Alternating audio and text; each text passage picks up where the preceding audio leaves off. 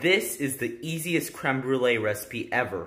All you need is some sugar, some melted ice cream, and an egg. We're gonna wanna put one egg into here. You're gonna wanna whisk until all combined. Then put it into your ramekins and put them in a pan half submerged in water and in the oven at 260 for 30 minutes.